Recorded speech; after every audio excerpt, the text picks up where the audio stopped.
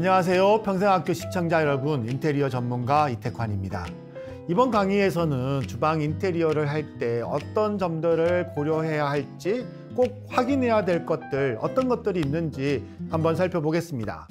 우선 주방 구조 그대로 사용하지 마십시오. 개선이 안 됩니다.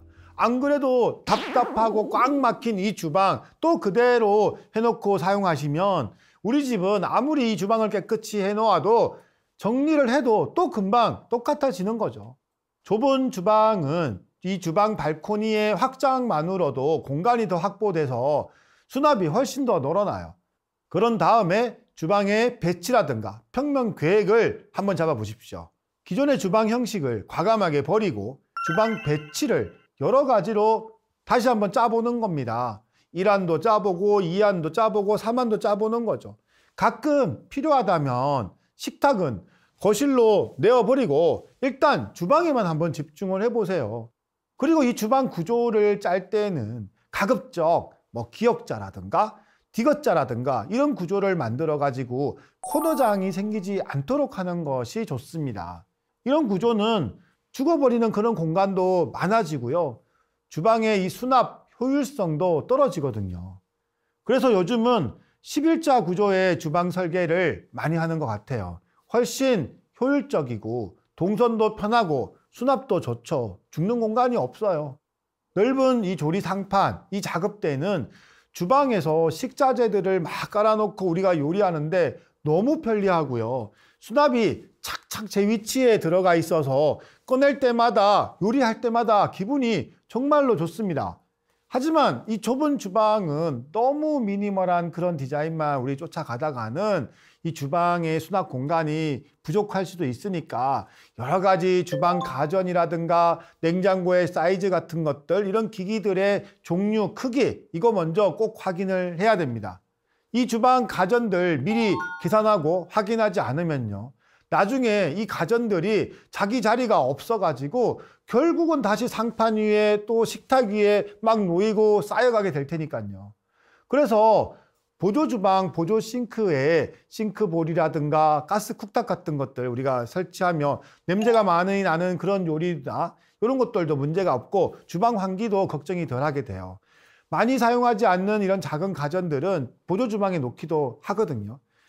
여러분이 주방 발코니가 좁은데 세탁기까지 만약에 있다면은 과감하게 이 세탁기를 다른 곳으로 보내버리고 주방 발코니는 순수하게 주방의 팬트리처럼 사용하거나 보조 주방으로 이용해 보는 겁니다. 저는 주방 설계를 할 때 가급적이면 주방을 분리를 해가지고 전면 주방과 후면 주방으로 많이 나누는 이런 설계들을 제안을 드리는데 이 후면 주방에는 냉장고라든가 가전, 이 수납들을 집중적으로 보통 배치를 하고요. 전면 주방에는 순수하게 요리를 할 수 있는 그런 환경을 만들어 드리는 그런 설계를 추천하는 편입니다. 그리고 주방 싱크를 너무 올 화이트로만 하려고 하지 않는 게 좋아요. 여러분들이 주로 많이 사용하시는 뭐 페트라고 하는 도화 재질이나 저가형 LPM 같은 이런 도화 재질이 화이트 칼라는 특히 황변 현상이라고 색깔이 자주 잘 바뀌어요. 그리고 오염에 이게 약하기 때문에 이 싱크대가 금방 지저분해질 수도 있거든요. 처음 시공했을 때 아주 깔끔하기는 하지만 금방 질리기도 합니다. 제일 저렴한 것들을 무조건 뭐 찾는 게 이런 게 아니라면은 이 주방 도화의 칼라들이 정말 많고 다양한 이 재질을 가진 주방 가구들이 참 많습니다. 크게 이 주방 도어들을 우리가 나누어서 보면은 민자 도어 라인업, 그리고 natural 도어 라인업, 그리고 프레임 도어 라인업으로 이렇게 나누어 볼 수가 있는데요. 민자 도어의 가장 기본이 여러분들이 가장 많이 사용하시는 LPM 도어 라인업들이고요. 도 색상이 잘 변하지 않는 ASA라는 그런 제품들도 있습니다. natural 도어 라인업은 필름 도어 라인이 주를 이루고 있는데 이게 국산 필름이냐 수입 필름이냐에 따라 가지고 가격대들이 좀 다르고요. 그리고 정말 고급스러운 natural 도어는 무늬목 도어라고 보면 됩니다. 가격이 제일 비싼 거의 원목 같은 느낌의 그런 고급 도어 라인이죠. 프레임 도어 라인업이 있는데 보통 도화 이 문짝 테두리에 알루미늄 프레임으로 감싸져 있어요. 손잡이, 우리가 손잡는 이런 부분들, 이게 알루미늄 프레임으로 되어 있으니까 거의 오염도 없고 내구성이 엄청 좋습니다.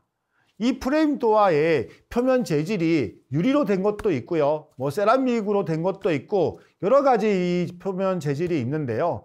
보통은 이 프레임 도화 라인업들은 가격대가 좀 높은 편에 속하긴 합니다. 여러분들이 이런 주방 도화들 선택하실 때는 샘플이라든가 실제로 시공되어 있는 이런 사례들을 확인을 직접 해보시고 선택하시는 것을 추천드립니다. 그리고 여러분들이 실패하지 않는 그런 주방 인테리어를 하려면은 이런 것들도 확인해 보시는 게 좋습니다. 싱크대 높이는 요즘 평균 우리 신체 사이즈가 커져서 대부분 높이가 이 900 높이를 추천을 하고 있지만 본인 키에 맞춰서 높이 조절을 일부 가능합니다. 규격 모듈로 된 그런 싱크장을 우리가 이용하다 보면은 또 좌우에 남는 공간도 생기는데 이런 것들 버리기는 좀 아깝죠. 그래서 커스텀되는 그런 가구들을 사용하는 게 좋습니다.